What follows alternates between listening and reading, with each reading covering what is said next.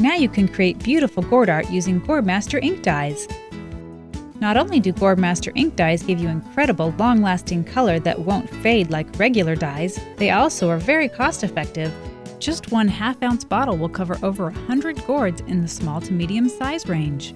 Plus, they can be washed off easily with soap and water, so they won't stain hands or clothes, and they come in 30 incredible colors. Gourdmaster ink dyes can be used to create beautiful blended color in your gourd art. Plus, they are extremely easy to work with and can be removed from your gourd if you make a mistake. Just use Gourdmaster Formula 49 before heat setting your ink, and most ink colors can be removed completely. Formula 49 also works great as a shell conditioner for gourds with dry shells. Simply apply it as a base coat under your ink dyes, dry it, and colors go on smooth and easily right over the top.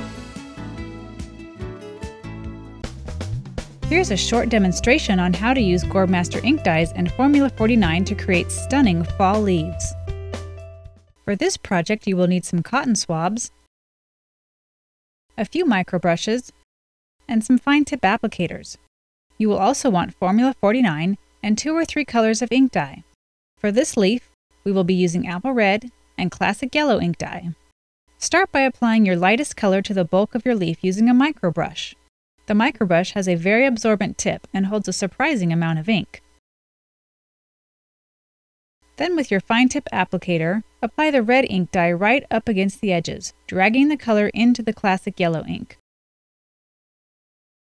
If you make a mistake and go over your lines, just pick up a little of the Formula 49 on a cotton swab and remove it. You can also use Formula 49 for blending to soften any lines between your two colors or if your gourd shell is very dry and your inks are not moving very well. Once you have all your color on, take a clean cotton swab and just dab off any excess ink.